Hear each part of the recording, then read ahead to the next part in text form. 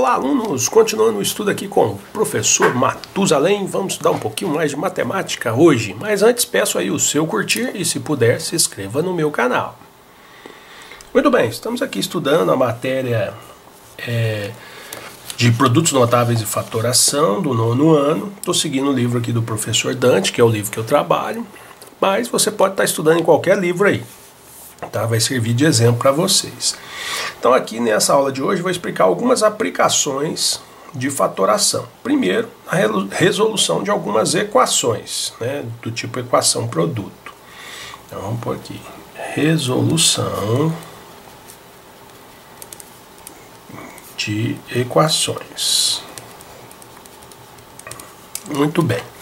Então, é, nós aprendemos já lá no, no, oitavo ano, ano passado, alguns tipos de equação do segundo grau, mas vimos aí que se eu tenho a diferença entre dois quadrados, né, eu posso fazer a fatoração. Mas imagine isso aqui agora como uma equação. Né? Lá eu ponho o igual aqui, ponho aqui ó, igual a zero. Então está dizendo que eu quero descobrir um valor de x que elevado ao quadrado multiplicado por 9 menos 25 vai ter que ser zero. Que valor será esse?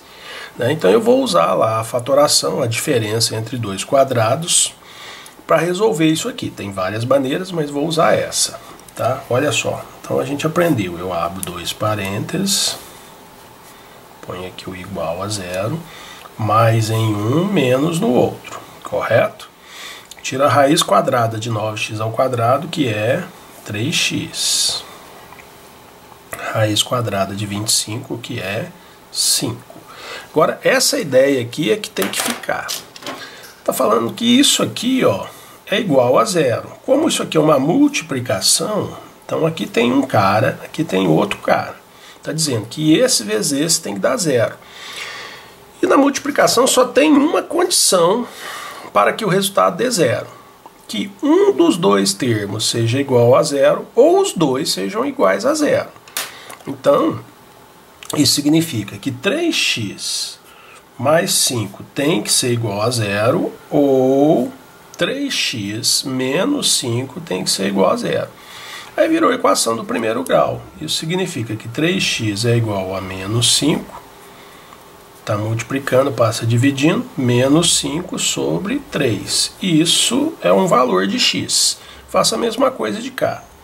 3x igual a 5, x é igual a 5 terços. Ok? Então tá aí. Lógico que a gente tem outra maneira de resolver isso aí. Vamos ver, ver esse ano, quando a gente vier aqui a entrar agora em equação do segundo grau. Mas é uma das aplicações da fatoração. Tá bom? Vamos ver se tem outro exemplo aqui. Vamos chamar isso de A. Tem outro exemplo aqui. Tem, tem um B. X ao quadrado menos 20x mais 100 igual a zero. Perfeito? Então vamos ver aqui, ó. Aqui já não é diferença entre dois quadrados, é um trinômio. Pode ser que seja o trinômio quadrado, perfeito? Então a gente abre um parênteses, coloca ao quadrado igual a zero, o primeiro sinal que aparece, que é o menos. E aí eu falo, raiz quadrada de x ao quadrado, x. Raiz quadrada de 100, 10. Beleza, só que tem que fazer a prova real para ver se realmente é um trinômio quadrado perfeito. Você faz x vezes 10, 10x dobra 20x. Então, realmente é. O que, que significa x menos 10 ao quadrado? Significa x menos 10 vezes x menos 10 igual a zero. Porque qualquer coisa ao quadrado é ela vezes ela. E na mesma situação lá de cima, esse vezes esse tem que ser igual a zero. Isso significa que x menos 10 tem que ser zero ou x me menos 10 tem que ser zero. Então aqui, uma raiz é 10 e de cá a outra é 10, né? Coincidiu das duas serem o mesmo valor, tá? A gente vai ver logo em seguida aí que cada equação do primeiro grau, segundo grau, terceiro grau, ela admite um número de raízes iguais ao grau que ela tem. Tranquilo? Beleza, é isso aí. Né? Agora vamos fazer aqui os exercícios 24 e 25 aqui da página 50 desse livro, que é do professor Dante.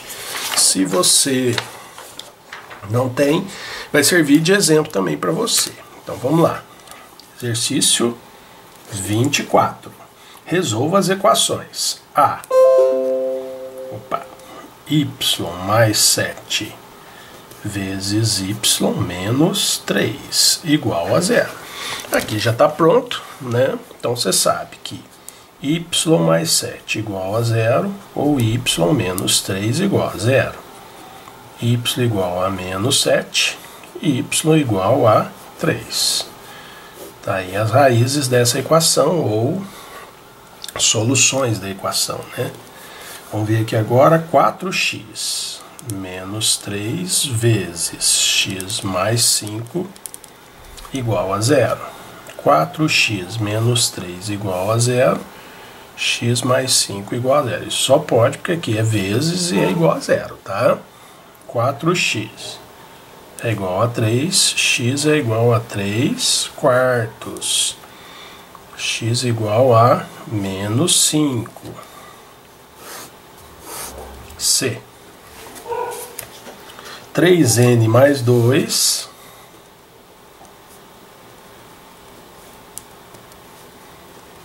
4n mais 5. Então temos aqui, ó, 3n mais 2 igual a zero, 4n mais 5 igual a zero. 3n igual a menos 2, n igual a menos 2 terços. 4n mais 5 igual a zero, 4n igual a menos 5. n menos 5 quartos. Perfeito? É facinho, né? D. T menos 1 vezes T mais 5 vezes 2t menos 1 igual a zero. Aqui são três termos, mas vale a mesma regra, né? Um deles tem que ser zero. Então, você põe t menos 1 igual a zero t igual a 1, primeira raiz, ou primeira solução. t mais 5 igual a zero, t igual a menos 5. 2t menos 1 igual a zero, 2t igual a 1. t igual a meio. Aí, né, foi bem facinho, tranquilo. Aí agora o 25 aqui o 25. Diz o seguinte: em cada item, fatório o primeiro membro e depois resolva a equação produto. Então vamos lá. Letra A: 5x ao quadrado menos 15x igual a zero. Aqui, ó, não é a diferença entre dois quadrados, mas eu posso colocar em evidência. É, são divisíveis por 5 e por x. Então, colocando 5x em evidência, 5x ao quadrado por 5x, x. 15x dividido por 5x, 3, igual a zero. Então eu sei que 5x é igual a zero, logo x, né, zero dividido por 5 é zero. x menos 3 igual a zero, então x é igual a 3. Já descobri as duas raízes aí ou soluções. B n ao quadrado menos 121 igual a zero. Esse aí é a diferença entre dois quadrados. Então você abre dois parênteses, igual a zero, põe mais em um, menos no outro, raiz quadrada de n ao quadrado, n, de 121 é 11. Então você tem n mais 11 igual a zero, n menos 11 igual a zero n igual a menos 11 e n igual a 11. Então tá aí as soluções. C. t ao quadrado mais 12t mais 36 igual a zero. É o trinômio quadrado perfeito. Pode ser, pode não ser. Deve que vai ser, né? Vamos ver. Você põe o parênteses ao quadrado, o primeiro sinal que aparece aqui, que é o mais, raiz quadrada de t ao quadrado, t, raiz quadrada de 36, 6, prova real, t vezes 6, 6t, dobrando, 12t. Então, realmente é o que está ali. A gente lembra que isso ao quadrado é como se fosse t mais 6 vezes t mais 6, certo? Então a gente põe agora t mais 6 igual a zero, t mais 6 igual a zero. O t aqui é menos 6 e o daqui também. Chama-se raiz dupla. E a letra D está falando 3x ao cubo menos 48x igual a zero. Então você vai ter aqui a evidência 3x vezes 3x ao cubo por 3x é x ao quadrado, menos 48x por 3x é 16, igual a zero. Mas aqui ainda dá para fatorar pela diferença entre 3, ah, diferença entre dois quadrados. Então repete o 3x e abre os dois parênteses Aí você põe mais e menos. Raiz quadrada de x ao quadrado, x de 16 é 4. E aí agora você vai ter 3x igual a zero, o primeira raiz é zero. Perfeito? Vou subir aqui um pouquinho. x mais 4 igual a zero, x é igual a menos 4, é a outra raiz.